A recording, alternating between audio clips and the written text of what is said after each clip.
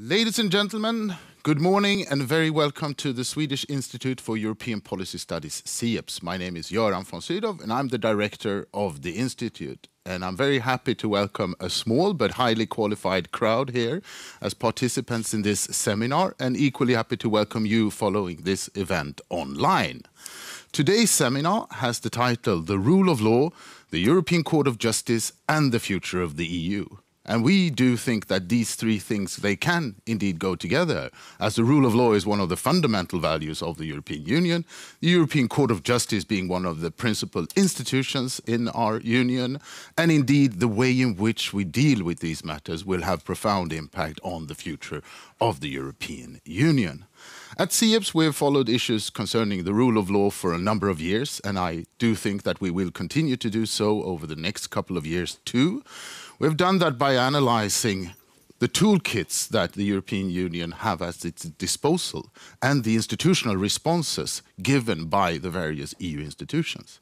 In this project, one of the latest contributions is a quite substantial report, which has the title Respect for the Rule of Law in the case law of the European Court of Justice. It's actually the longest report ever produced by SIEPS, and I'm really happy to welcome the two authors here today, Professors Laurent Pech and Dmitry Kochenov.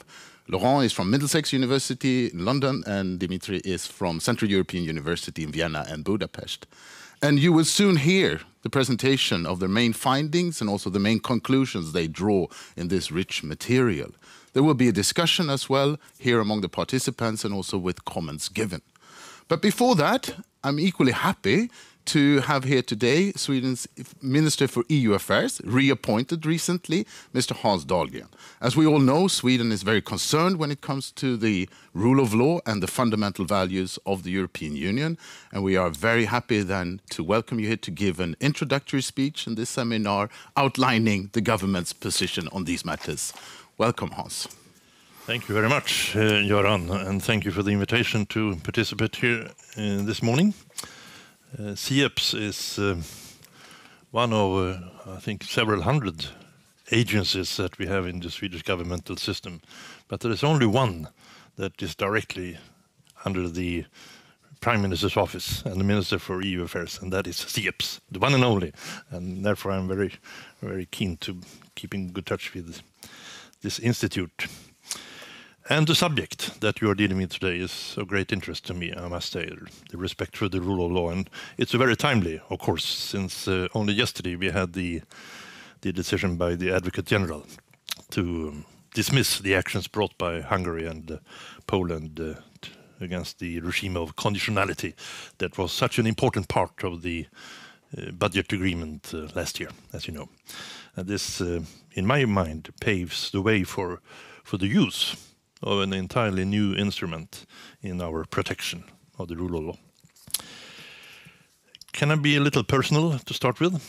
I'm soon into my fourth year as Minister for EU Affairs in the Swedish cabinet.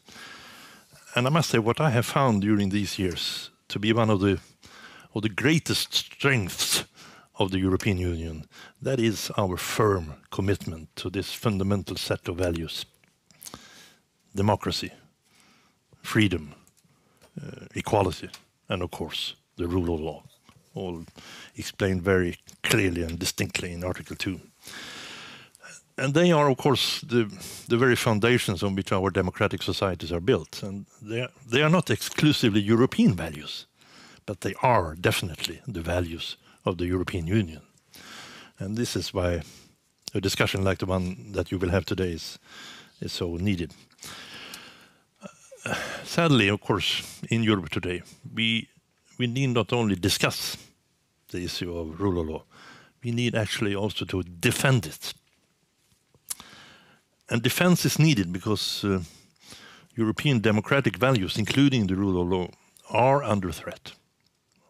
I've spent a good part of the last year, few years, visiting a number of high schools all over this country, and I can tell you one of the most frequent questions that I get when I meet students in high schools or, or universities is this why don't you do more in the EU to deal with these obvious breaches against fundamental values that we see in other parts of Europe?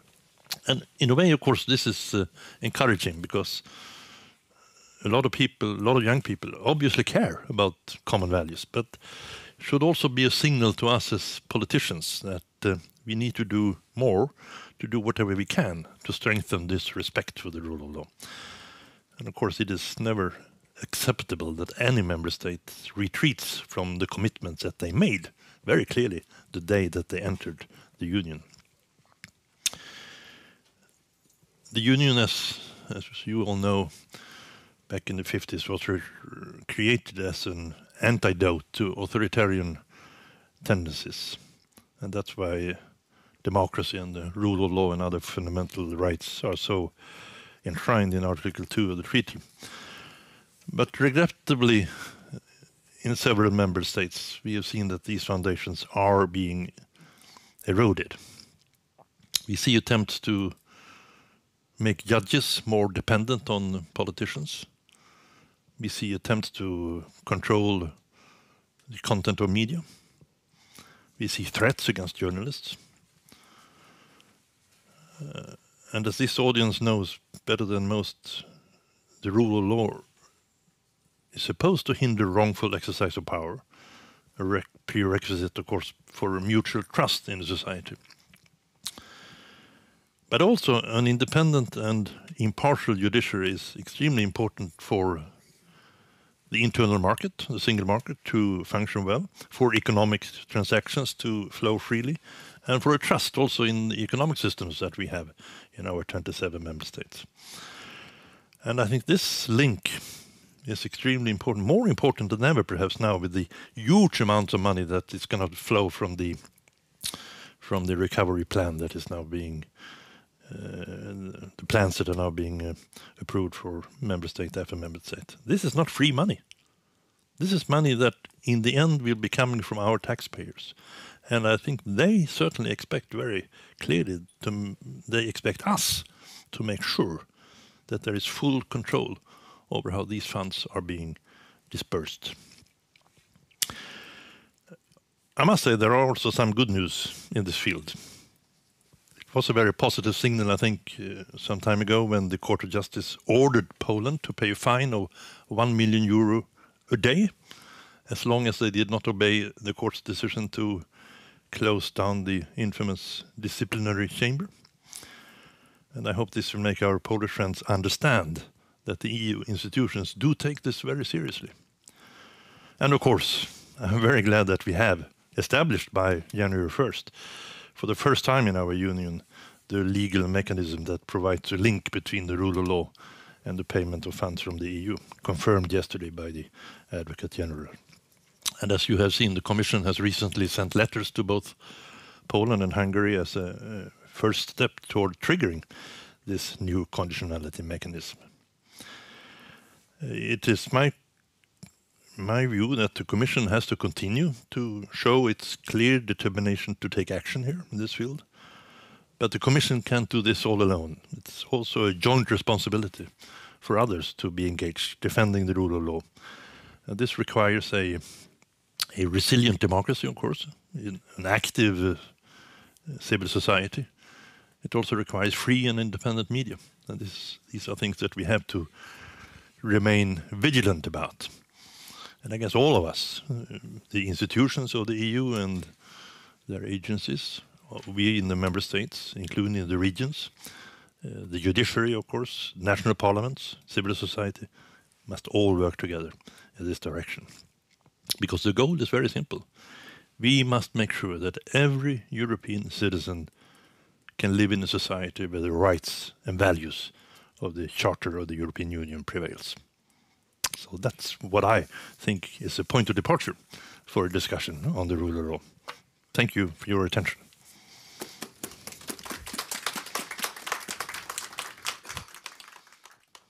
Well, thank you so much, uh, Hans Dahlgren, Minister for EU Affairs, for these introductory remarks. And uh, I'm sure that there are elements that was brought up here that we will continue also further on in the discussion. Now I'm going to hand over to today's moderator. Annika Ström Melin is a well-known journalist, author, and also member of SIEP's advisory board. Over to you, Annika. Thank you so much, Göran. I'm really looking forward to this, to moderate this seminar. uh, about this very interesting report. I've read it. I find it extremely interesting. And the seminar will proceed as follows. First, the researchers, Laurent Pech, Dmitry Kochenov, will present their analysis of some key judgments from the European Court of Justice concerning the respect for the rule of law. And I think they also briefly will highlight, highlight the developments since the publication of the report. Is that, is that correct? Perfect. And after your presentation, I will be very happy to welcome Jane Reichel, who is professor in administrative law here in Stockholm at Stockholm University. Um, yes, you will comment this report. And then I will open the floor for the audience. Um, and as Göran said, we are really happy that this small group of, of Swedish judges, law scholars, and other experts with an interest in European affairs have come here today to listen and take part, part in the discussion, that you have struggled through snow and ice to be here with us uh, today. And we hope we will have a, a, interesting, lively discussion, and we will close the seminar at 11:30. Uh, so let's begin. Please, uh, Laurent Pech, Dmitry Kochenov, the floor is yours. Uh, Laurent, you you're gonna start. Yes. Thank you very much, Annika, and good morning, everyone. Uh, let me begin by just uh, offering some thanks to the SIEPS team, not only, first of all, for their patience, because we delivered the report, I'm afraid, just uh, about uh, 12 to 14 months later than the first submission date. But you know what they say about submission dates, you have always to miss the first one, otherwise you don't look serious scholar. Um, and uh, thank you also for the amazing support in terms of editorial feedback we have received. In fact, it was just immensely helpful. Uh, special thanks to Patricia as well. Uh, she's been very patient with us uh, in terms of uh, proofreading and updating footnotes and so on and so forth. Uh, so my thanks to the SIEPS team and my thanks also for organizing this seminar this morning. No, it's always a moment of kind of a joy and uh, a feeling of achievement and pride. And once you have finally overcome uh, the writing process and you see uh, the product you've been writing on for so long out and available free of charge online. But it's also actually, in a way, uh, depressing that we had to write the report to begin with. Um, respect for the rule of law was never supposed to be challenged in the EU. In fact, uh, part of the enlargement process was to make sure that if you join the EU, in fact, uh, your commitment to the rule of law, democracy, and respect for human rights was on a sustainable basis, irreversible basis. Sadly, I'm afraid, um, we have been uh, witnessing in the EU what I have described uh, with Dimitri as rule of law backsliding, but you can call it uh, democratic and rule of law backsliding because rule of law backsliding always leads to also backsliding when it comes to democracy and respect for human rights. Uh, just uh, last month, uh, the President of the Court of Justice, for the very first time, publicly and exceptionally mentioned that the survival of the EU legal order is at stake. Can you just pause for a minute and reflect on this statement by a sitting president speaking extrajudicially, telling us the survival of the EU legal order is at stake? That's what happens, I'm afraid, when you let the process of democratic and rule of law backsliding goes unabated unchallenged for so many years. From my point of view, rule of law backsliding began in 2010, so this is nothing new. Exhibit A being Orban's Hungary. So the rule of law democratic backsliding started in 2010. Exhibit B is Poland since the end of 2015. Uh, fast forwarding to 2021, Hungary is no longer a democracy, which is why the US government did not invite Hungary to the summit of democracies happening pretty soon. And from my point of view, uh, Poland is on track to becoming the EU's second authoritarian member state uh, within the next 12 to 24 months. In a way, from a rule of law point of view, I, I would argue uh, that uh, Poland has gone further than Hungary. Uh, uh, there is no longer any meaningful separation of powers in Poland. The independence of judiciary has been completely successfully dismantled. There is no such thing as an independent judiciary anymore uh, we have only some pocket of resistance thanks to brave judges and brave prosecutors and brave lawyers fighting against the flow. Uh, the minister was referring to this uh, great ECJ recent order imposing a daily penalty payment of 1 million euro per day. Uh, however, I must emphasize the fact that uh, Polish authorities no longer recognize the validity of any ECJ order or any ECJ judgment relating to judicial independence. They just they've made compliance with judgments of the Court of Justice unconstitutional. So just uh, it's it's just un so unthinkable that uh, people are still not understanding fully the consequence of what has been happening in Poland. They're now doing the same with the ECHR right to a fair trial. They're essentially legalizing lawlessness. Lawlessness is now the norm in Poland, not the exception, and people are still in denial about it. I mean, people, I mean, key EU actors. In Hungary, it's been a bit different. They've been able to undermine judicial independence, but in a more subtle way, by just taking capture of the top uh, Supreme and constitutional courts, leaving the rest of the system relatively autonomous. But the end process is that Hungary uh, was described as the EU's first authoritarian member state since 2019. So the EU is no longer a union of democracies, it's just a fiction to argue uh, that it is. Now, in this context, essentially, the Court of Justice finally uh, stepped in into the fray uh, mid July, mid summer 2017. Our report, uh, technically, the, the, key starting point is not 2017, but 2018, uh, the so-called Portuguese judges ruling. But we decided to make an exception to our uh, subtitle by also including this uh, interim order of the ECJ from July, uh, from November 2017. Why? Because it's it was a clear first signal to Polish authorities, especially, that you cannot be a member of the EU and just comply à la carte with ECJ orders and rulings. So, and this was the first time a daily penalty payment of 100,000 euro was threatened, not enforced. But the 1 million daily penalty payment actually is only is the third instance where the ECJ actually discussed or threatened and then imposed daily penalty payments. To date, Polish authorities were in 2017 were threatened with a daily penalty payment of 100,000 euro per day should they refuse to comply with a previous ECJ order regarding uh, Polish forest. So it's an environmental matter. But it was the first time in 2017 that in the history of the EU, an ECJ order was explicitly uh, disobeyed by public authorities. Polish authority, in the end, pretended to comply. In fact, they didn't comply, which is why, in fact, there is a uh, an Article 260 infringement action pending against Polish authority regarding the same case.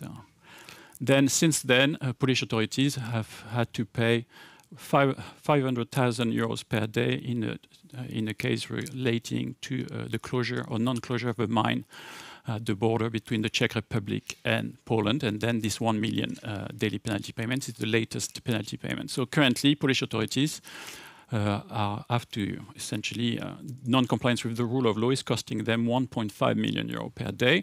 But since they don't recognize the authority of the ECJ and uh, the validity of the ECJ orders for them, they don't have to pay because they don't exist. They've gone further recently to the extent that they've done the same with a, a ruling of the ECHR, which they have declared non-existent. So the situation is really dire. I cannot overemphasize the gravity of the situation when just remember what the ECJ president has just stated. The survival of the EU legal order is at stake and is completely right. We have an EU legal system which is a very interconnected one. We cannot have pockets of autocracy in a mutual trust-based legal mechanism. It doesn't work. Uh, so either, there are two options. Either we confront the challenges or we deny the challenges. And currently, I'm afraid it's a bit of both, uh, depending on who you're talking to. So it's, it's in this uh, context that the report uh, came into being. It took, it took us a long time, but to, I'm going to defend the slow nature of the writing process uh, uh, just very briefly. But just to give you an idea of uh, how complicated uh, the amount of the, how voluminous the case law has become. When, we start, when I started working on the rule of law with Dimitri many years ago, we had a couple of judgments, but nothing really that dr dramatic on uh, judicial independence. Uh, the key judgment of the Court of Justice was the Wilson judgment, but it was really about uh, tiny uh, non-compliance with access to the profession of lawyers uh, in Luxembourg. So nothing really uh, to write home about. Now, since the since Poland's rule of law breakdown began in 2015, now we've we have a total I calculated last week Uh, if you include ECHR rulings, we have four of them dealing with rule of law breakdown in Poland. We have a total of 22 judgments and orders from ECJ and the Strasbourg Court dealing with uh, rule of law breakdown in uh, just Poland. So 22 judgments and orders just regarding Poland. And I'm not including the judgments which are indirectly shaped by this situation.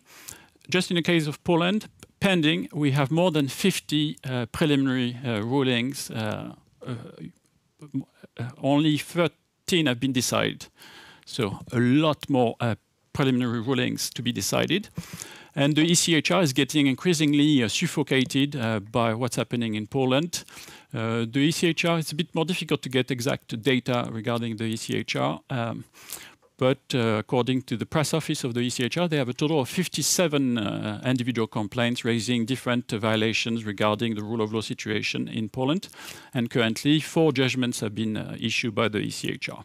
Our report does not directly tackle the, the case law of the European Court of Human Rights, first of all, because it's more recent. Uh, but uh, edition two, I think we have no choice uh, but to integrate uh, the case law of the ECHR a bit uh, more to the extent that something new is happening, something good actually. Uh,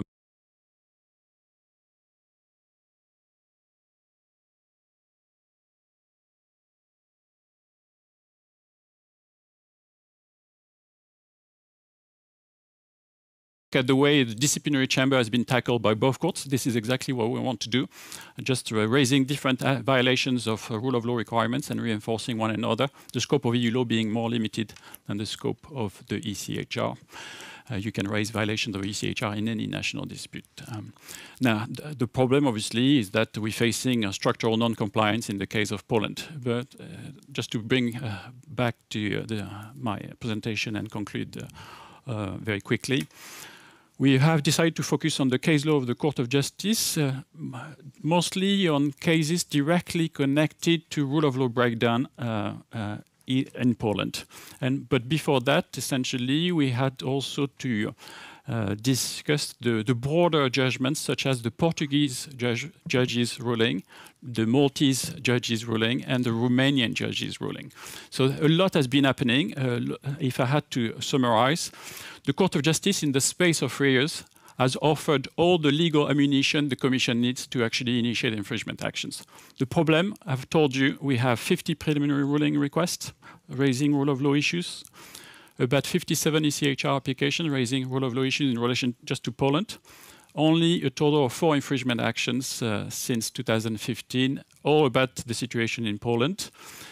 Um, sadly, that's not even close to be enough. Uh, I would say we need just more infringement actions and we need more sanctions. The situation will get worse.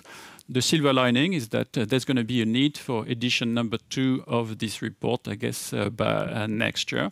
It's going to be increasingly uh, challenging uh, to actually keep on top of the case law because we're expecting, I would say, about another 10 judgments most likely in the next uh, 12, 12, months. And uh, as uh, was mentioned also at the start of this discussion, we have a new kid in the block, uh, the EU rule of law conditionality regulation, which we all expect to see finally activated in the next uh, six months. Um, but then, most likely, uh, then there's going to be more legal challenges if uh, suspension of EU funding is ordered by the Commission and then approved by the Council. So essentially, this is going to get worse, I'm afraid, before it gets better. As far as Poland is concerned, I would say the situation has reached a point of no return. Uh, we are talking about the structural systemic violation of all the requirements relating to a right to a fair trial, including the requirement to have your case heard by a court established by law. So it cannot be worse than this. We have about uh, 100,000 judgments which may have been issued in Poland by unlawfully appointed uh, individuals. What are we going to do uh, with all of these judgments? Uh, and then obviously, because we are in an interconnected legal system, anything which happens in a member state uh, is infecting uh, the rest of the system through the existence of mutual trust and mutual recognition-based mechanisms. So I didn't want to depress you too much, but I'm afraid uh, the situation is not going to get uh, better anytime soon in the short term. And uh, if we if we have learned anything through this writing of this report, is that the law might not be the solution, but uh, we certainly need more infringement cases to contain the problem. I'm not saying that uh, legal actions and financial sanctions are going to sort it out, but we have to make sure that the situation doesn't get worse. And then I think there is room for improvement. But uh, overall, and then uh, I'm going to pass the, the, the, floor to Dimitri, or uh, back to Annika rather. Um, and um, I would say the Court of Justice overall has done an excellent job. There's been there's some um, areas where the Court of Justice could have done better, could have acted more decisively, but uh, these uh, gaps in the existing uh, case law are going to be uh, mentioned by Dimitri. So thank you very much. Thank you so much, Laurent. And before I pass on the word to you, Dimitri, I have just one question, maybe in detail, but you highlighted the fact that this um, sort of enhanced constitutionalism that you describe this load of new rulings. And one of the starting points was this Portuguese judge's case. So I, I was a bit curious because when I read um, the facts about this case, I mean that that was um, that regarded measures um, against um, uh, reduction measures from government uh, to tribunal judges. Mm -hmm. And in the end, the European Court of Justice said that this, this was not a violation. So I was just curious, what is your explanation to the fact that this case became sort of a starting point for, for this uh, development?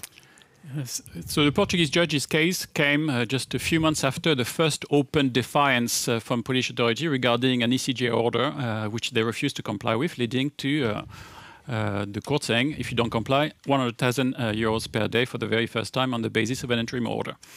Uh, the, this Portuguese judge's case um, is very interesting. Many aspects of it are very interesting, which is why, in fact, this is the first chapter of of the, the book, essentially. Uh, what the Court of Justice has done is, in fact, what Dimitri and myself and Professor Scheppele argued the Court should do a few years before, uh, which is to uh, activate uh, the principle of effective judicial protection, which is to be found in Article 19, paragraph 1 of the TEU, which is a Lisbon Treaty addition. Because this provision is not uh, limited by the the same way the rest of EU law is limited by, which is normally EU Charter, for instance, only applies or can only be relied upon when a national authority acts within the scope of EU law the Court of Justice uh, gave a much broader scope of application to the principle of effective judicial protection. Essentially, any national court uh, which may apply EU law must uh, be protected, essentially. And anyone whose, uh, whose uh, rights relating to the principle of effective judicial protection have been uh, undermined or violated, including judges themselves, can actually sue their own member states to defend their own independence. I'm talking about judges. And the outcome of the case was not surprising. It was in the context of an austerity uh, environment where civil servants in Portugal were subject to pay cuts. And uh, some judges argued that uh, they were special to that extent that they were judges and should not be subject to pay cut. This argument was rightly dismissed. But I think uh, what, they, what, the Portuguese uh, Association of uh, Judges did was less to fight about this, but just to give uh, the Court of Justice finally the first opportunity to actually activate uh, this uh, Article 19, paragraph 1 TU, which should have been activated before by the Commission. But what we've seen is the Commission is always in a reactive mode they wait for the Court of Justice to answer preliminary ruling question, and then they're going to make use of whatever legal answers provided by the court. Uh, but then that means, uh, in the case of Poland, that essentially the Commission is waiting for Polish judges to commit professional suicide. Then we get answers to their questions, and then uh, we can have more enforcement. But the Portuguese judge's ruling, essentially, from my point of view, and perhaps Dimitri has a, uh, I mean, he, would agree, but uh, um, most likely, we'll see. Uh, but uh, from my point of view, what's uh, interesting, I compare this uh, Portuguese judge's ruling to a US Supreme Court ruling from the 1920s, which uh, expanded the scope of application of the US Federal Bill of Rights to any state authority. So, from my point of view, all things being equal, what the Court of Justice did is a bit kind of the equivalent to what the US Supreme Court did when he expanded the scope of application of the US Bill of Rights. The Court of Justice, however, has done this only as regards the principle of effective judicial protection. So you can argue that he was, in fact, the right answer at the right time, this has led, in fact, has allowed Polish judges and other national judges to refer plenty of judicial independence related questions. So Portuguese judges uh, ruling is really key. You can add to this uh, uh, pantheon, you can add now the Maltese judges ruling and uh, the Romanian judges ruling. Uh, the, the, the, Maltese judges ruling has added uh, another legal ammunition to the arsenal, the principle of non-regression so essentially, the Commission has yet to do that, but the Commission can certainly uh, bring an infringement action in the case, uh, in the situation where a national, uh, where a, a, country, national authorities backslide uh, from a judicial point, independence point of view. So, for instance, for me, there is an easy case to be made regarding the Polish National Council of Judiciary under the principle of non-regression because they have regressed. They have made it less uh, independent than before. So that's a clear-cut uh, infringement case. The Romanian judge's ruling is also quite uh, fundamental, which is uh, from May to 2021. Yeah, uh, I'm getting old. Too many cases. Uh, this one is very important. I mean, it's a bit specific because Romania is under this specific cooperation and verification mechanism. So he has to comply with explicit uh, rule of law benchmarks unlike uh, other member states, so Bulgaria, Romania. But what's interesting about uh, the Romanian judge's ruling is that for the very first time, the Court of Justice has brought uh, together the situation of judges and prosecutors um, which is key because if you want to undermine democracy and the rule of law in a country, you don't simply attack judges. First, you capture the prosecutor's office, which you can then use to bully uh, uh, reluctant judges into submission and then also use to undermine the rest of the system and also prevent, uh, for instance, corruption investigations being launched against you if you are the government. And in this Romanian judge's ruling, uh, the Court of Justice has brought together very nicely, compellingly, uh, Article 19, paragraph 1 of the TEU, but also the EU Charter, and apply both uh, to the regime, disciplinary regime relating to uh, judges and prosecutors. So already, the Court of Justice has done the work. And now said the, the, Court of Justice, however, can only answer questions or can only you know, deal with cases uh, reaching uh, the court itself. Uh, so it's for the Commission and uh, national governments uh, to step up uh, to the challenge. currently, the, both the Commission and the Council have failed miserably from my point of view. And which is why I think, out of despair, the President of the Court of Justice kind of had to state something very bluntly survival of the EU project is at stake. He spoke also in the same speech of red lines, which, if they are crossed, essentially the EU legal system does not exist because mutual trust cannot exist in a system where these red lines are crossed and left unsanctioned. He didn't mention any country, but we all know, obviously, uh, who he had in mind. Uh, and sadly, uh, uh, the, what I call the authoritarian gangrene is just spreading. We've been talking, I mean, I've been talking about Poland and Hungary, but uh, we should also pay attention to Romania, where the Romanian Constitutional Court has just point blank uh, violated uh, the Romanian judge's ruling of the Court of Justice. So, where is the infringement action in this case? This is a straightforward violation of the ECJ ruling, and they do so on the basis of the rule of law. So that's another good example of uh, gaslighting. Uh, when autocrats violate the rule of law, they tell you that they do that in the name of the rule of law. So that's very a typical uh, rhetoric uh, from those undermining the rule of law.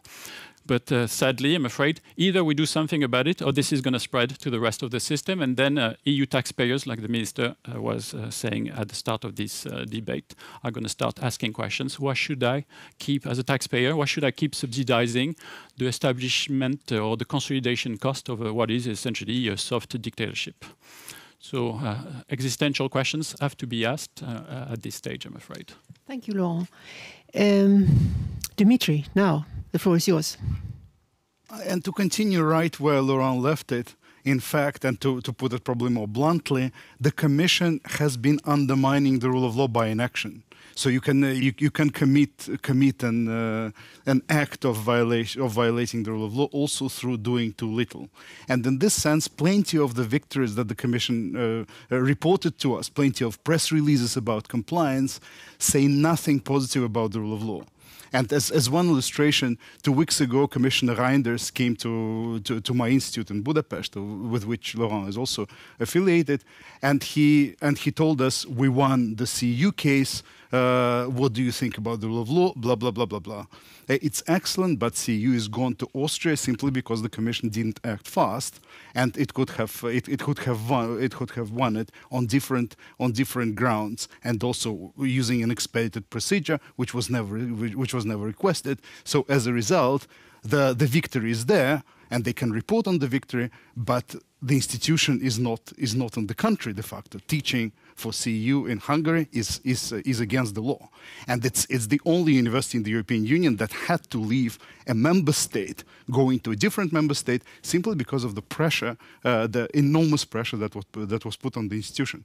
So this is a this is a great illustration among dozens and dozens, I'm afraid, and this is exactly the problem with the current system, uh, where winning cases doesn't actually help you to win the battle and that's and that's exactly where the Portuguese judges uh, is probably uh, a ray of hope because uh, winning winning the case is actually not important for the parties. So what happened to the Portuguese judges ultimately in the long run is, is, is of no is of no relevance to us. What is of relevance to us is, is the establishment of principle. And in this sense, the Court of Justice has been remarkably consistent in carefully building this uh, this overwhelmingly convincing, I would say, line of case law that we try to describe in the report. This avalanche of cases uh, adding bit by bit. Uh, to this, uh, to, to, the whole picture, to the, uh, to, to, a new presentation of what, what the rule of law is about in the European Union, uh, has been vitally important. In also, as Laurent said, uh, showing the Commission the way of what could be done.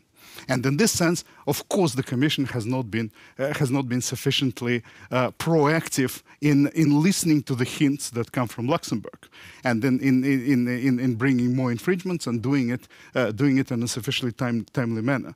But all in all, I wanted to be more positive, in fact, uh, than Laurent is. So, so, what I want to talk about is a mad uh, positive story, uh, which which goes against the, the assumptions that the EU is built on. So the assumption is the EU is a union of democracies, uh, which all uh, comply with the rule of law, which all love human rights, we genuinely embrace the ideals on which the Council of Europe stands as well, and this is not anymore the case.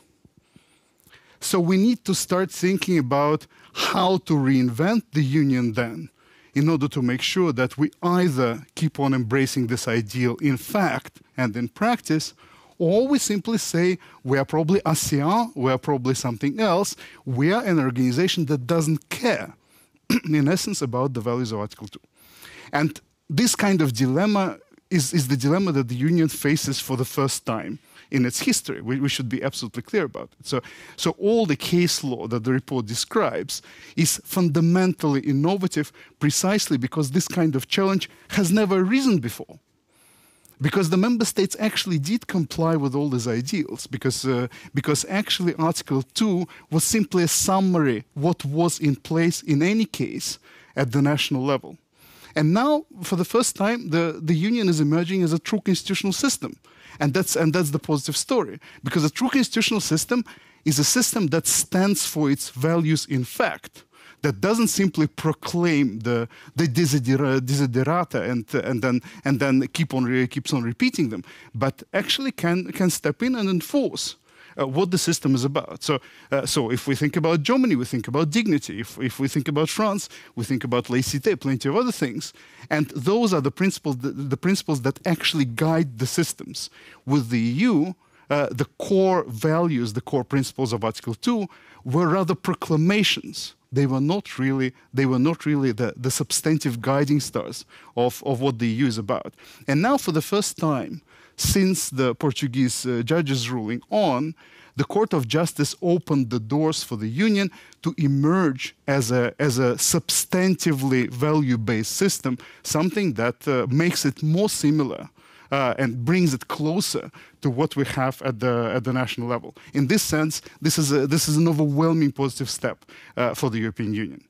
And I said mad because if, if, we, if we look at the literature about uh, what could be the core dangers for the European Union from the 90s and from, from the beginning of the century, uh, there is a lot about mutual assured destruction Because if we speak about EU law, we speak about dialogue between the courts. Uh, so the, the, authors like Weiler, authors like Kuhn, uh, leading professors uh, engaging with this with this topic, they saw danger in national courts uh, failing to comply or failing to to yield uh, on some occasions to what the Court of Justice uh, is, is trying to tell them, and that was seen as the main danger, because the assumption about the about adherence to the values was, was so, so, in, so ingrained that it was presumed to hold. And now we see a much madder story. Because instead of a dialogue between courts, we have dressed up gentlemen in Poland and also the, the, the, the lady, the, especially the president, of course, who pretend to be a court. And we know that they are not uh, under under what uh, the, the, European Court of uh, Human Rights tells that tells us. We know they are not. Once once we read as minimally educated lawyers the Polish constitution, and we know that the politicization of the system is such that it would be it would be an offense outright to claim that there is any kind of judicial dialogue possible between those people and the Court of Justice. So instead of instead of failures of mutual understanding, we have a crumbling of, of the national system that is, uh, that, is, that is the true problem. And then this is definitely not something the union was uh, initially designed to address. So all the current case law is about, is about bridging the gaps between what the assumptions were about the values and, what, uh, and, and, and how bad the situation is in practice. So this, this bridging of this gap is, is fundamentally important. And once again, this allows the union to emerge as a true constitutional system.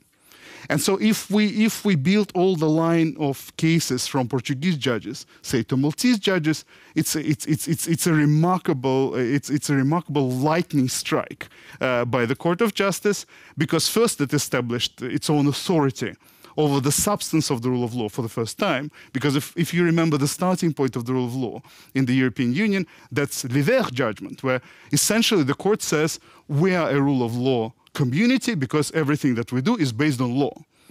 It's not good enough in order to address our current problems. So obviously it had to be upgraded. Why is it not good enough? Because uh, Prime Minister Orban has done everything in accordance with the law.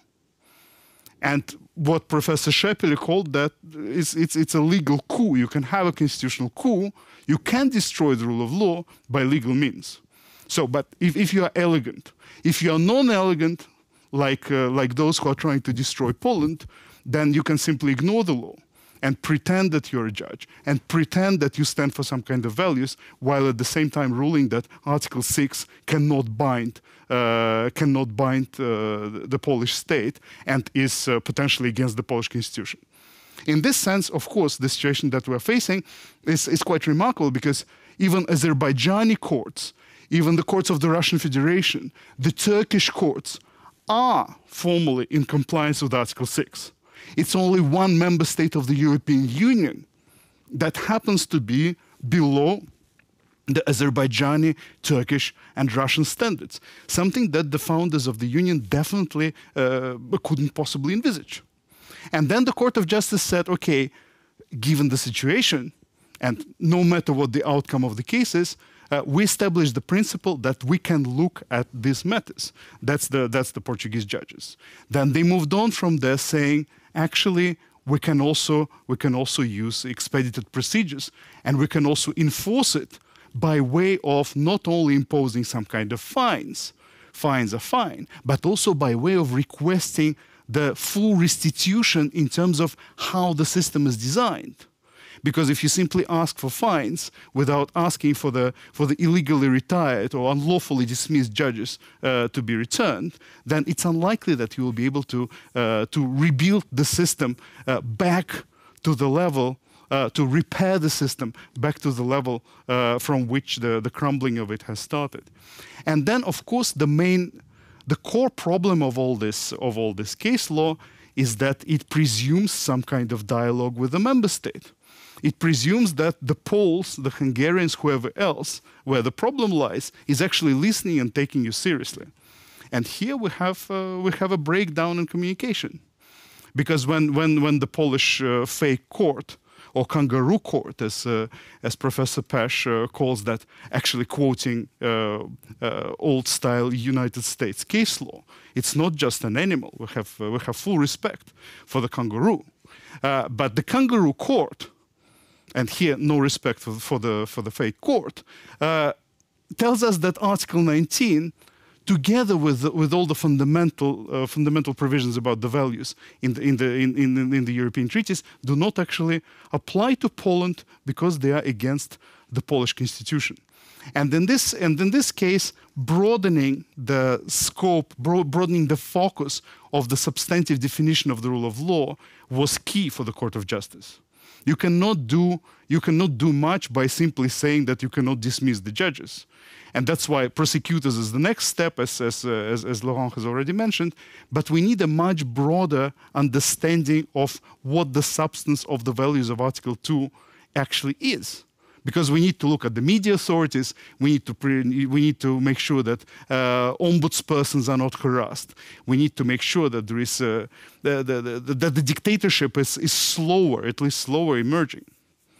And, and in this sense, the Maltese, uh, the, the, Maltese judge's ruling is key because this, uh, this non-regression principle that the court has formulated, sitting as a grand chamber, is, uh, is uh, it's, it's a very solid approach, I think, uh, to defining the scope of the law as, uh, and the scope of compliance with, with basic values as they stood at the moment of the accession of those countries to the European Union. So the court says you cannot backslide under that minimal threshold that was reached on, on, the, on the particular date when you, became, when you became members. And this means that it's not Article 19 anymore. So the, the, Maltese judges, uh, the, the, the, case makes a connection to, to Article 19, of course, and also to the Charter, but, but it's not Article 19 anymore. So the Commission can take any field now. It can take up any issue, and this is what, uh, what uh, uh everybody's expecting from those guys. It's their job to start using all the legal arsenal at their disposal in order to move against the, the corruption, the rot uh, at the core of what the union is about. This union is not like ASEAN. This union is a union of values. This is what makes us different from, from Eurasian Union that the Russians built with Belarus. This is what makes us different from, from plenty of other unions which, uh, which, are, uh, which are built on different core principles. And uh, I think I will leave it here. But uh, the, the final point is, is an optimistic one. Uh, the horrors of the awakening to the idea that simply being a member state of the European Union doesn't actually prevent you from, from backsliding into autocracy uh, is something that pushed the institutions of the Union, especially the court, uh, in order to rethink and rebuild the system in such a way that the substance of the system uh, now matters much more. Uh, so I, I, actually look at the future with optimism because the because the case law shows clear direction, and now it's up to it's up to the commission uh, to start delivering. So all eyes on the commission, as it were. Thank you so much, Dimitry. I just one question for you also. Um, I wonder if you can help me to understand the reasoning of the court when it comes to Article 19, because you, as you have both focused on, it's, it's Article 2 with the values highlighted by, by our Minister of EU Affairs and Article 19 that is the key for this new law case. Um, and if you read Article 19, I mean, it's not evident, at least not for me, that this is uh, this is what it means. I mean, and, and I quote: member states shall provide remedies sufficient to ensure effective legal protection in the field covered by union law. I mean, can you explain a bit further how the court's reasoning in this respect has evolved and how they can connect this with Article 2? Not too long, though, because then we have to leave the floor to, to Jane. Question. Yes, yes, yes. that will be extremely brief. Uh, the article doesn't require any kind of uh, any kind of particularly deep thinking. It simply assumes that the member states A have courts and B those courts are minimally working. So under this article, well, even Azerbaijan was, would pass, even the courts of, of, of, the Russian Federation would be okay, but not the Polish fake courts. So, and this is the this is the lowest denominator.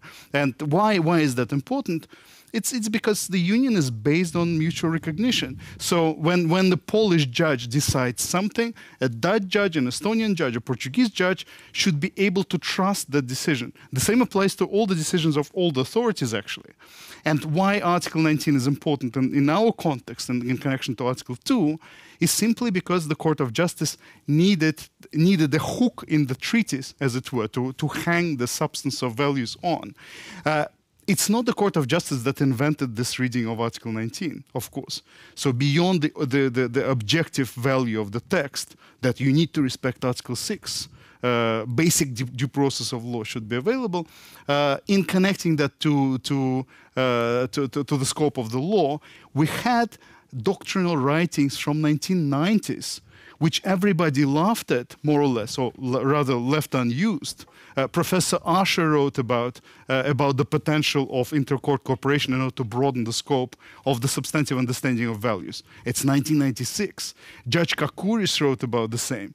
And then the, the, the, the general, the, the general response from the academics was, well, but why is that important at all? There are courts, they function, the, the, the, the, national level is working fine. So the assumption that all the member states comply with the basic values uh, should not be actually policed in substance. And now we find ourselves in the situation where we look back at those 1990s writings and we suddenly realize actually the late Professor Usher was right. The, it does make sense uh, to, to, to, to, have this, uh, uh this doctrinal understanding. Dimitry Kochenov and Laurent Pech for giving us so much food for thought and discussion, I hope. But now, please, Jane Reichel, welcome. Well, thank you very much. Thank you very much, very much for this opportunity to comment on this very interesting uh, report and uh, also after uh, being able to listen to your very interesting presentation.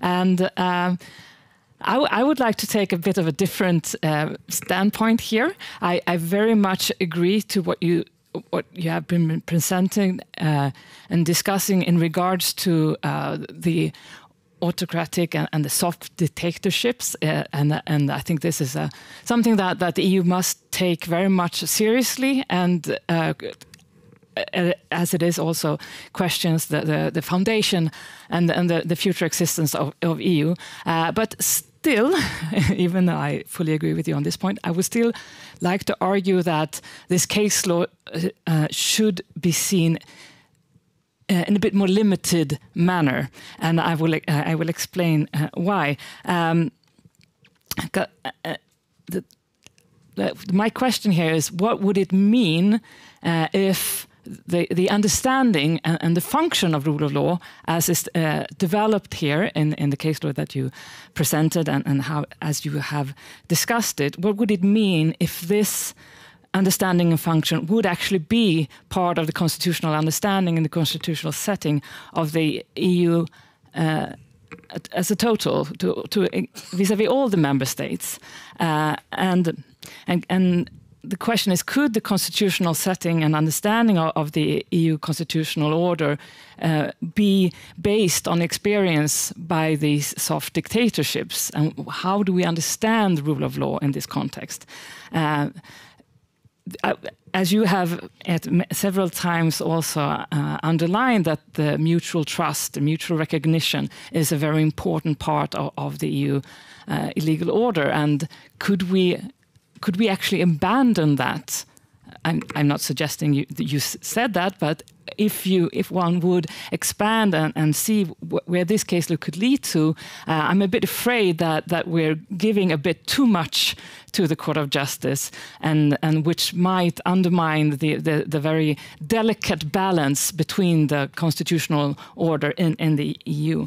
And and I would like to to take as my point of departure this, uh, which you also discussed in your report, uh, uh what the Court Court of Justice says in the um, Portuguese judge's case, where they define the rule of law uh, in in the EU, and they, and there is one sentence there that, that that where they say that effective judicial review designed to ensure compliance with EU law is the essence of the rule of law meaning that that uh, the essence of rule of law is to ensure compliance with EU law. And you also say that this uh, in your report that this is sort of a I think you call it a, a mundane objective uh, the, the, to ensure compliance with EU law is, is, can be seen to a too mundane an objective to to be called the essence of the rule of law. So I think we agree on that. But I, I would like to, if one would take this this line seriously and, and sort of see what would that mean, um, where where where would that lead us? And then, of course, obviously, we would have to to go back a bit to what is the EU, and we're not we don't have to go through uh, all the decades here, but, but from Van Gend en Loos and Costa versus ENEL and everything, and it, it, has the member states actually uh, conferred on the Court of Justice to be the final arbiter of the EU legal order in, in its entirety? Um, I'm not so sure. I think there is a balance here, there's a cooperation, there, there is a dialogue, but I'm not sure we could finally says, say that we have the, the Court of Justice is the the emperor of it all. And uh, so what I would like to, to do here is to, uh, to, to raise two points. Um, one is on uh, from, from the background of, of this understanding of the rule of law and what it could entail. Uh, and the one, the first is is what what it means uh, independence of court. Uh, is this only are the national courts only to be independent on vis-a-vis -vis the national go uh, government and the national political structure, or uh, could they also actually be a bit independent, also towards the EU? uh, could that be included, or is is this constitutional defining of the constitutional setting uh, of the EU only a matter for the Court of Justice? And and the other point I would like to raise is this uh, principle of non-regression that you that you also presented, uh, and is this also something that is only a matter for the Court of Justice? And here, perhaps I'm not uh, thinking so much about the national courts, but perhaps the, the legislator, the lawmaker. Who is the lawmaker here? Is, it, is it only the Court of Justice? Um, and can we have a rule of law system that allows itself to be self-referential in this manner that it's only the court that could define this and what is the role of the EU legislator and and also the, the national legislators of, of course so I would like to start with the first point, uh, um, the role of the national courts and setting the limits of the EU legislative competence or, or defining the limits and the protection of fundamental rights. And we've, as we've uh, uh we just seen, this was from, from the Van Gend en Loos and Costa versus ENEL and the whole development with the Solange case and everything. And, and where, where are we now? And I would like to say, that the question, the jury is still out.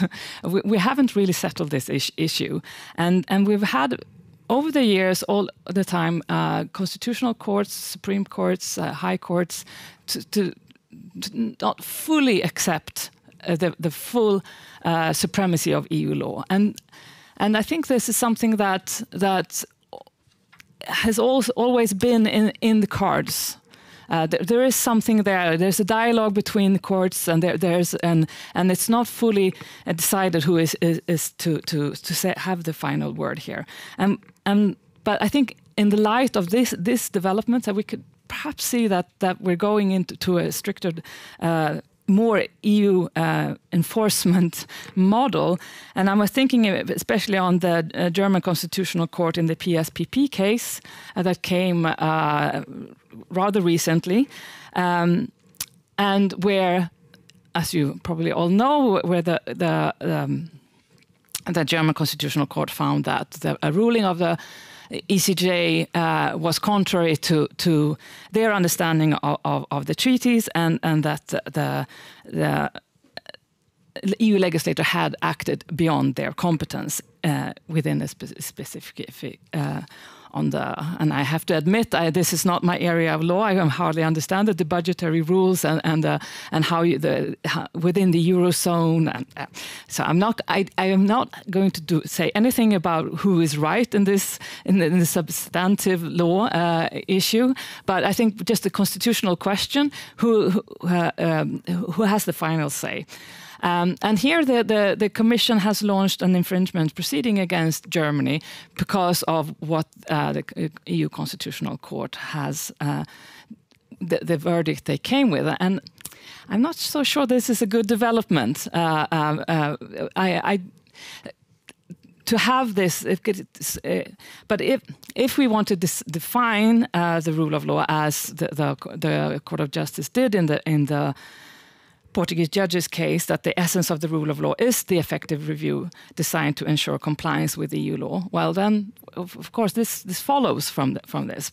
But I, I, would say that it also undermines this definition and this understanding of the rule of law also undermines uh, the, the whole function of the preliminary ruling system and, and the dialogue between courts and, and, the, and the mutual trust and mutual recognition of the courts uh, to de together develop EU law. And I think it's we might be losing something by, by going too hard uh, and, and, and letting the Court of Justice have all the, the, the final says.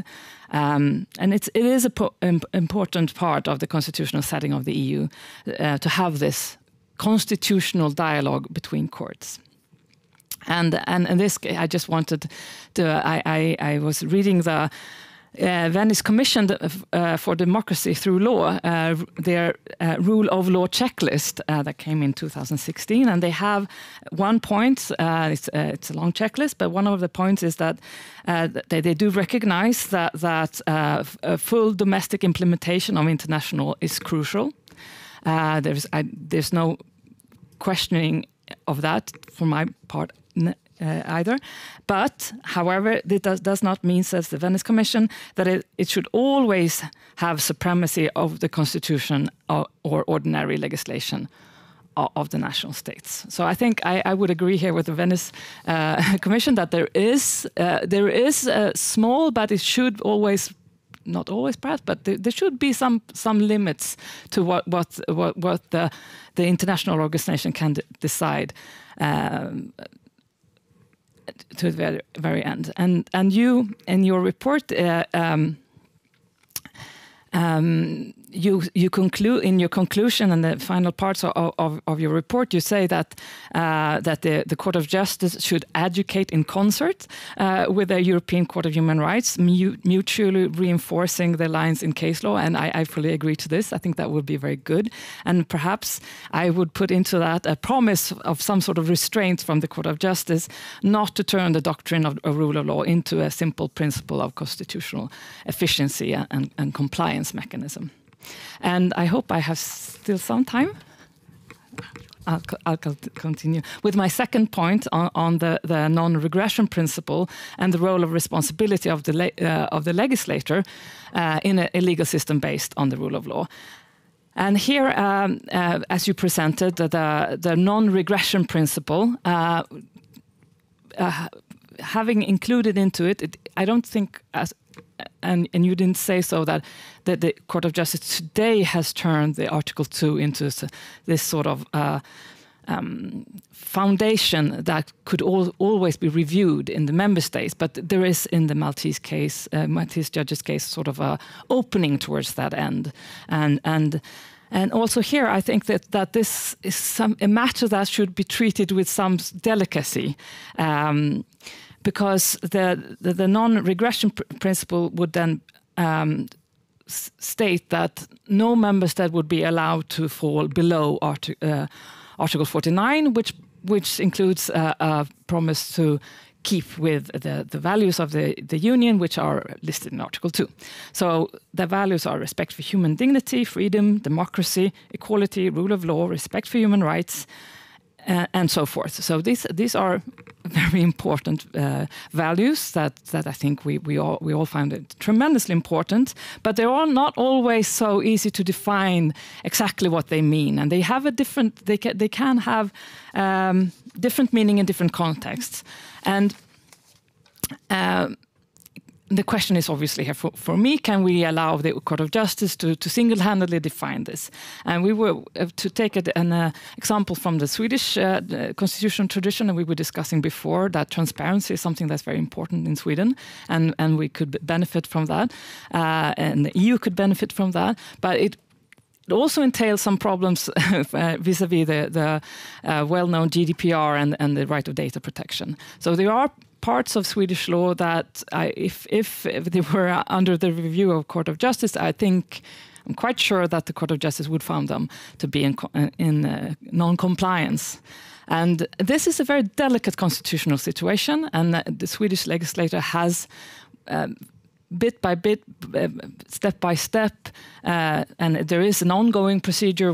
We the the parliament and the the government just put a, a, bill to the parliament to change our our constitutional text. Uh, but this could only be done after an election, and before the previous election, the, the, the parliament vote uh, uh, did not accept the, the bill in its entirety, but there are certain parts, and now the government comes for a second time to have them approved after the upcoming elections. And this is a sensitive, it's, it's a sensitive area, and I'm not sure that that the, that the Court of Justice coming uh, to say that we Sweden needs to do this now. I'm not sure it would be, would be so helpful. It, I think and there are cases where a dialogue is better, and and so what and and so first I think it would perhaps sometimes be problematic to let the Court of Justice have the full say, and another um, um, problem that I, I, I, would see that it, it would actually mean that the Court of Justice competence to, to hear cases would be very much expanded because many of the, the, the issues that are under Article 2 are not fully uh, under the competence of the, court, uh, of the EU to, to regulate. Uh, so it would mean that the Court of Justice would have a much wider com competence to, to adjudicate, adjudicate cases than the EU legislator would have to regulate the basic uh, components of democracy, uh, how to elections, uh, transparency, ac accountability. Uh, data protection, we know that's that's in the competence of the EU, but but uh, not transparency in all its aspects. So this would also be put us in a situation that would be a bit uh, uh strange, perhaps, and, and, and, not not consistent. And it, um, and another point, which is perhaps not so legal, uh, but would be that I'm not entirely sure that the principle of regression always would be is a suitable tool to achieve the rule of law. And this comes back to what I just said about the Swedish transparency principle and, and how these are delicate issues. And it's not always th that uh, a verdict from a court can produce and build democracy from, from, from the bottom. And this was also something that you recognize in your report. So, uh, and we also need to for the legislator to be part of this pr procedure and and this is something also that you recognize in your, your report. That one of the blind spots that you identify in, in, the, in the last chapter is the inconsistency of the application of EU law uh, between different sectors. And I think this is this is very true, and and uh, and this is a problem in EU law uh, that that the sector specific areas differ a lot, also with the uh, with uh, areas that that the comes in in in, comply, in the question and compliance of the rule of law. But but here it's also I think that here's the EU legislator needs to step up here, and we being an administrative lawyer, uh, I, the rule of law and, and, and the protection of fundamental rights often come in, into play in the administrative uh, nitty gritty parts. And we, we see here with uh, the European arrest warrant, which is not an administrative, but, but, and, but the, the framework program of the Eurosystem and the financial market law, and, and many of these areas, we need to have a better legislation in the bottom to be able to, to, to have this uh, prerequisite for, for actually having the rule of law. So um, there is a risk, I think, if we, we, we put, too much emphasis on this non-regression principle, that the, the rule of law and the idea of supremacy uh, will will lead to an exercise of public power that will actually undermine the, the rule of law, the, the law in itself if the law is poorly drafted. So we need to have good legislation for the rule of law actually to function. That's an important part.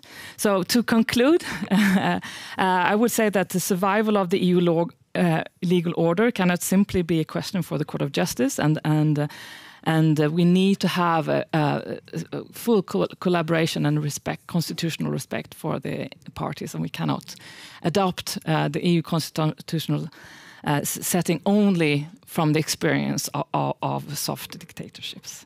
Thank, Thank you. you so much, Jane, for also broadening the discussion to the role of the Court of Justice within the European Union. That is, of course, of, of core value in this discussion too. And I will give you the opportunity to answer, but I would also like to tell you, the audience, that you have the opportunity to comment or questions if you like to take part in the discussion.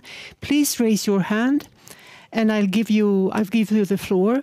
And uh, we will also hand over a microphone to you because, as you know, this uh, seminar is being recorded and broadcast it in this moment. So please uh, raise your hand, take part in the discussion. And now, uh, Dimitry Laurent, would you like to, to answer to what Jane, Jane has said? I mean, I'm not going to attempt to answer all of the points. It just it wouldn't be possible within the, the allocated time. I think you've, you've been you're talking about a different issue than the one we've been trying to confront. Uh, so you're talking you've broadened the debate to uh, the role of the Court of Justice and primacy of EU law. But uh, to my, as far as Poland and Hungary are concerned, primacy of EU law is just a smokescreen. Uh, this is not the issue at all, because in the case of Poland, they are now organizing the systemic violation of EU law, ECHR law, and the Polish constitution. So it's nothing to do with primacy of EU law as such. It has to do with rule of law versus autocracy and lawlessness. So to that extent, uh, the debate about the role of the Court of Justice is not really the key debate.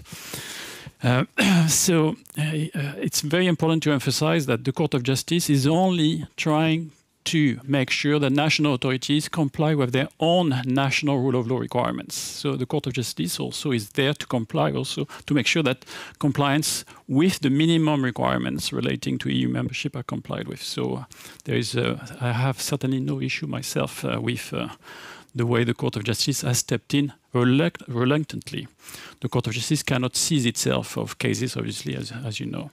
So uh, it only has to answer preliminary ruling questions, uh, infringement actions, annulment actions. So it's not about primacy of EU law.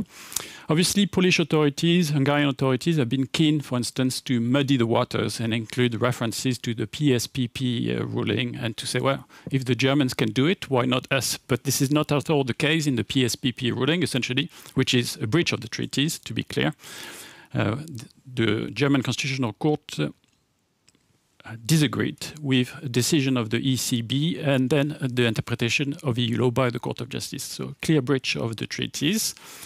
You could argue that uh, disagreements are always possible as long as disagreements take place between good faith actors. And this, in this case, you can say that constitutional pluralism, which you seem to be in favor of, can work and possibly correct. But here we're not talking about uh, good faith actors. We're not talking even about courts. So the comparison with PSPP ruling and the rulings of the Constitutional Court is is a nonsense from the start because the Polish Constitutional Tribunal is not a court. You cannot dialogue with non-court, non-real judges. So I think we need to be careful when we try to discuss the role of the Court of Justice, primacy and constitutional dialogue. I'm actually not against this kind of discussion, but what we are seeing is much more dramatic. We are seeing the systemic violation of European and national rule of law requirements with national authorities essentially setting aside any judgment they don't like anymore and punishing any critic they don't agree with or they want to bully into submission. So we have to be careful. Uh, in a fair weather environment, I would say, we can certainly have, we can agree to disagree on primacy of EU law, role of the Court of Justice, but uh, that's not what's happening in the case of Hungary and Poland. We're already talking about lawlessness, national judges suspended for just sending questions to the Court of Justice. Or, or, can you have a dialogue between national judges and European judges when national judges themselves are punished for trying to enter into a dialogue? It shows the absurdity of the situation we find ourselves in. Same situation in Hungary with the most recent judgment of the Court of Justice on the attempt by Orban's fake Supreme Court to undermine the functioning of the preliminary ruling mechanism. So as you can see, in the case of Hungary and Poland, nothing to do with primacy of EU, it's just a kind of a smokescreen to hide essentially the transformation of uh, both constitutional systems into uh, autocratic uh, systems. In the case of Poland, actually in clear violation of their own national constitution. Hungary is a bit more complicated, but that, that was my main reaction. Thank you for this fundamental points. And in fact, I agree with every single word you said. But I think it, uh, it's of no relevance to our report and, uh, and the discussion that we try to present. And uh, I agree to the, to the extent that I have published a number of papers uh, which, uh, which your talk could have summarized because it's vital to have uh, to have clear limits and mutual, mutually respectful uh, dialogue between the courts in the in the European Union. In fact, uh, PSPP is probably not the most worrisome case in this respect. But one of the most worrisome, worrisome cases, to me at least, and I know Laurent will disagree, is Commission versus France, uh, where the Court of Justice said not sending a question to us is a violation of the rule of law if you are the highest court of the member state. And probably, actually, from the formal point of view, they're right if you if you read the treaties. But uh, but in terms of allowing the freedom uh, to to actually have a different opinion at the national level is not something that the Court of Justice has demonstrated in that case. But that case is is really part of the fundamental discussion, which is of a different order, the one that you started, and it's extremely helpful to start. Uh, while what we were talking about in the report is whether the Court of Justice should move against a member state that doesn't recognize Article 6 ECHR, a state that doesn't believe that uh, that independent provision of justice and basic due process of law is something that should be guaranteed to all the to all those in front of its courts. And that, and in this at this level and the threshold level is, is, the most, is the most important thing to distinguish what you were talking about and what we were talking about. At this level, when Article 6 suddenly is not law, as we heard from the Polish so-called constitution, constitutional so-called kangaroo court last week, is, is, is, is exactly where I don't see any problem whatsoever with the Court of Justice intervening. And then the last point, it's a scandal how the Court of Justice defined the rule of law in the Portuguese judges. There is no justification for that, for that narrow approach, but that narrow approach, of course, is taken by an actor, an actor of the EU legal order acting within the sphere of application of EU law, which means that for the Court of Justice, in that specific case, this approach could actually be fully justifiable. And in this sense, I do believe that, and I, I wonder whether Laurent would agree, I do believe that the courts should not always act as academics and, and list full definitions. They can also start with, with a minor point, which is of vital importance in the concrete context of the concrete case in front of them. And in this sense, uh, in, in, in the case of Portuguese judges, like in plenty of other cases in front of the Court of Justice, it's the, it's the, it's the functioning of EU law that actually bothers the Court of Justice because the Court of Justice is there precisely to make sure that EU law is observed. This is the function of the Court of Justice. And then the rule of law, as interpreted and enforced by the Court of Justice, should also be uh, rethought from the uh, from the standpoint of this of this vital function. So I think it's a scandal when taken out of context, but probably less of a scandal when when put in the in the general framework of how the dialogue works. Thank you. Jane, you will have the opportunity to answer later on. But first, please, let's listen to some comments or questions from, from the audience. Uh, uh, Eleanor will hand over to Joakim first uh, a microphone. And Joakim, please present yourself for the audience. Thank you. Uh, Joakim Nergelius, University of Örebro. So thank you very much for a very interesting report. Uh, you bring up so many interesting cases, and there would be a lot to comment on. But uh, in, I have a reflection about actually two cases that you don't mention uh, or don't focus on, uh, because I made a reflection that the Court of Justice justice's approach to rule of law and human rights seems to have changed a little bit during this rule of law crisis. If we compare, for instance, with the Meloni case from, from 2014 which, or 13, which is a bit uh, notorious, uh, or even the, the, the opinion on uh, the non-accession, as it were, to the European Convention of Human Rights, where the Court of Justice has a slightly different approach, more a little bit more restrictive to what we see today as fundamental rule of law values. Uh, um, And uh, my impression is that the rule of law itself has reconsidered uh, some of those values, given the serious problems that we have seen in Hungary and Poland in recent years. Uh, a second short reflection uh, that you might comment on. Um, given the problems with dialogue, dialogue between the ECJ and national courts, and on the other hand, the Commission initiated this so-called early warning mechanism that was supposed to promote dialogue between the EU institutions and failing member states, so to speak. That seems to be more or less dead today. I would like to hear your opinion on that. Thank you. Let's listen to two more questions or comments, please. and please introduce yourself. Thank you very much uh, for this interesting talk and the report, of course.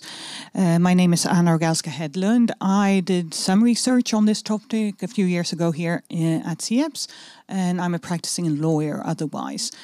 Uh, but my question would be when I uh, stopped my research, which was a couple of years ago, so I could foresee the case law coming and it's been uh, beyond my uh, expectations, uh, really, from both the Strasbourg and the Luxembourg court. but at that point, Article 7 was triggered, and um, it, it, was seen as a very political tool. Now, my question would be uh, when we have this clarified case law situation today, would that uh, strengthen the Article 7 procedure. It would, it could uh, depoliticize that procedure somewhat. So I would like to hear your reflections on that. Thank you so much. I hope you note the questions because will Annika, you you'll also have the opportunity to comment or ask a question, please. Uh, yes, thank you very much. Um, my name is Annika Wepling-Korsnick from European Commission's representation here in Stockholm. Uh, very interesting. Thank you very much for this uh, broad overview of the case laws, etc. And uh, uh, I don't have a specific question, just more a few comments. Um, also, very much lining into to what was previously said, because of well, you you mentioned now it's up to the commission that the commission has to step up, and and that is probably true. I'm not at all questioning that, though I'm also reconnecting to what uh, the minister said that the commission will not be able to do this alone. Um, and also connecting a bit with uh, what you just uh, your question here that uh, I mean the commission has launched uh, the article 7 as you know um, and had held hearings etc and, and, probably felt that this this political tool uh, had its limitation. Um, then moving a bit more to the judicial uh, way by launching many more infringement procedures than than uh, previously um, to kind of uh, have these these two tracks the, the judicial and the political. And so my question is is very much maybe joining in, in the, the ones before. Can these two uh, enforce each other so that you might even have a, a kind of way forward also in the article 7 discussions? Because now of course as long as we have we have rather limited amount of member states who are actually as proactive as one must say Sweden is on, on these issues. There maybe just a handful that actually drive these issues. And, and as long as we don't have that, I'm not even sure that the judicial path will work. So, so how do you see the kind of the, the these two enforcing each other? Thank you. Laurent, what do you say with this enforce Article thank 7. You, thank you for giving me the floor so I can pick and choose the easy questions and leave the difficult questions for my two co-panelists. Uh, regarding the early warning mechanism, you, uh, do you have in mind the pre-Article 7 uh, procedure, so which was used against Poland and then essentially never used uh, again?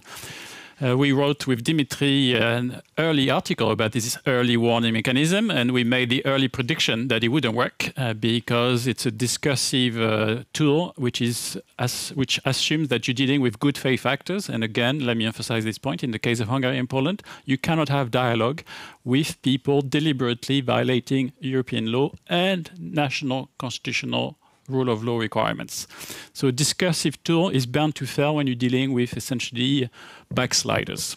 So this is why it didn't work. However, it had some added value. I think without this pre-Article 7 procedure, the Commission would have never dared actually triggering Article 7. So to some extent, actually, I'm not so I'm, I've been critical of this pre-Article 7 framework because it does delay action, but the added value of it is that it does organize a formal process whereby you document uh, rule of law violations, which in turn is going to make the job of other courts easier. So there is some value in this uh, rule of law opinions uh, recommendation by the Commission to the extent that it has made it easier to trigger uh, Article 7, paragraph 1 later. So. Um, but it would seem that I don't expect pre-Article 7 framework to be ever used again because now we have uh, two new tools, the rule of law report, which applies to all EU member states, and we have the, this new rule of law conditionality regulation. Article 7, uh, an interesting question, a difficult question also. Um, um, I'm one of the few who think there's nothing wrong with Article 7. I think there is, in fact, some added value in the triggering itself, again, for documentation purposes.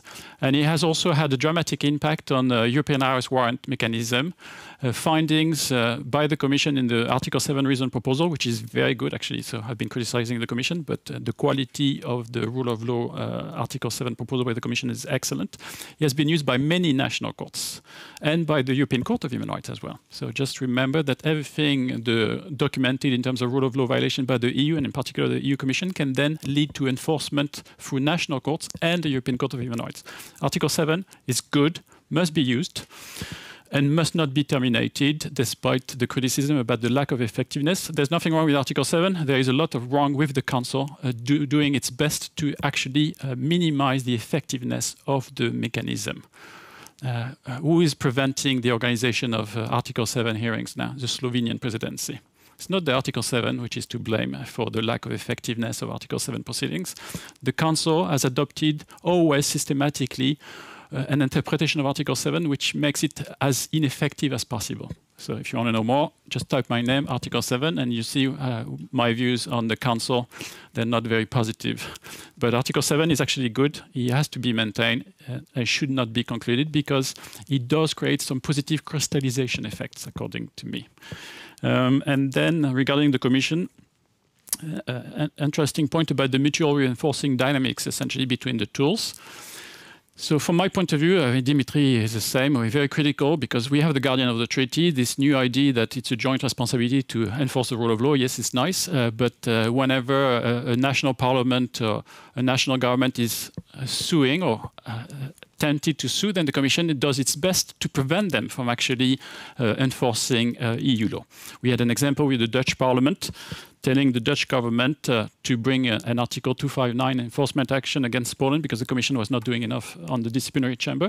And the Commission was very critical of the Dutch parliament. But then you just said it's a joint responsibility, and then you complain when national authority try to enforce EU law, because the Commission, in fact, doesn't want this joint enforcement, because then it is seen as delegitimizing the Commission as the main guardian of the treaties. And in, in fact, uh, this joint responsibility, I think, uh, is just to a large extent another smokescreen. So everyone's saying it's a joint responsibility, so therefore it's not my responsibility. And at the end of the day, everyone is waiting for someone else to actually enforce the law. No, that's not how it works. The treaties have been designed with only one guardian of the treaties in mind, and that is the Commission. National governments must do their part, but to the extent uh, that they have to play a part. But I think we are now in a situation where the Commission is waiting for the Council to give directions, and the Council is saying, well, that's not our job to enforce the rule of law, it's the Commission's job. And that was, in fact, the position of the European Council uh, president uh, when uh, there was some discussion about non-green lighting the recovery plan. And uh, some governments, like the Swedish government, said, we need to discuss what's happening in Poland. President of the European Council said, the European Council does not deal with rule of law issues. It's not our job. I mean, they just did six months before, they adopted unlawful conclusions to, uh, to essentially suspend the activation of the rule of law conditionality regulation. So even to conclude, sorry, I'm being very long and I get a bit annoyed when when I see this. now this. you opened up a new discussion there. When I see this non-enforcement and then all the excuses we get uh, to justify this non-enforcement, but the European Council is uh, and the Council, like I like, as I like to say, is where the rule of law goes to die. And they are so hypocritical. Uh, the European Council in December 2020 uh, essentially unlawfully suspended uh, the application of the rule of law conditionality regulation and the Commission went along. Uh, and it was something we can be really deeply ashamed of. Uh, I understand the politics of it. I'm not saying it's easy. But from a legal point of view, what we saw was uh, more violations of the rule of law, but this time committed by European institutions in order to give more time to those violating EU rule of law requirements at home. So, not acceptable. Thank you, Laurent. That's really interesting. But time is ticking. we have two more minutes. So mm, I would uh, suggest that Jane Dimitry. First, Jane, you have one minute to comment or conclude or say something to wrap this discussion up, and then I give the the floor to you, Dimitry, for one minute. Yes. Oh, well, well, thank you very much. Yes, yes and, and uh, well, I, I do agree that the, the, the, your report and what you're saying is very important vis-à-vis -vis the the the autocratic states, but I have a problem with, with having it as a general constitutional principle, and I think that in itself would undermine the rule of law. And and I uh, and and I think that that the, the first case, the Portuguese judge's case, wasn't against Poland, obviously. So, uh, uh, so I, I, think one should tread carefully in this area, and and I think what EU should do. Uh, there are, of course, the, the political solution would be the best, but obviously that is difficult. But from a legal point of view, the EU, EU law could be also be more robust on the secondary uh, legislation level uh, to include conditional mu mutual trust clauses, if I could call it that, in all the secondary law, in in, in the European arrest warrants, in in all the the uh, financial areas where mutual trust is. I think that would be a better way than to having this more grand uh, constitutional arena, which uh, I'm not sure it will, will actually make it to the, to the end. Uh, I th and I, I, think that I will stop there. Thank you. Dimitry. Just a very quick response. Uh, this uh, conditional uh, conditional mutual trust cannot work in the countries with with deficient judiciaries and deficient uh, or captured institutions, which means that if that is allowed for, then probably a larger number of the member states than, than Hungary and Poland will actually not be participating in, in, in, in, the, in, the, in the mutual functioning of EU law as we know it today. And the, the, the question that was left for me uh, is uh, what, what Joakim said. I think it's, it's fundamentally important. There's a constant evolution of the notion of the rule of law and what stands behind the rule of law. And here, uh, connecting the, the, the, commentator with what Joakim said, uh, the, the, to open the, the last Pandora's box for today, uh, the, the question is whether the European Union would actually meet its own new case law criteria regarding the rule of law. And my answer would be, well, unfortunately, no, because, uh, because in the European Union, well, in in, in, in Europe, on the European continent, we have two legal systems which, or, which principally oppose it seems, the, the accession to the European uh, to the to, to, the Council of Europe and and uh, taking upon themselves the obligations under the convention, and that's the European Union and Belarus. So 213 is the Belarusization of European Union law, is the shame of of of, of the of the of, of the Court of Justice, and then building on that shame, which is absolutely unacceptable, but they will have to deal with that later. It's absolutely not in compliance with their own case law. Uh, building on that shame this Belarusization uh, kind of logic, is what, hap what happens with the court itself. Like uh, what, what happened with, uh, with Advocate General Sharpston, how they reasoned uh, on, uh, on the, their own say on the limits of power of those who hold the power, to say that they simply cannot review uh, the member states' actions when member states act openly unlawfully is not uh, is not the right answer uh, in accordance with the rule of law uh, textbook which they themselves are writing. So there are plenty of problems, but this report focuses on a very con concise and concrete corner, which is the most problematic one. That is the corner of Poland and, and Hungary, which is blunt violation of the most basics, uh, the, the, most basic uh, parts of the rule of law. Thank you so much, uh, Dimit Kochenov, and thank you, Laurent Pech and Jane Reichel. I think you all have you know, deepened our understanding how crucial the principle of law is for not only the functioning of the European Union, but for the future of the European Union. And that is something that concerns us all. So thank you so much. And thank you for joining us for this seminar. And thank all viewers on the web who watched us. Thank you.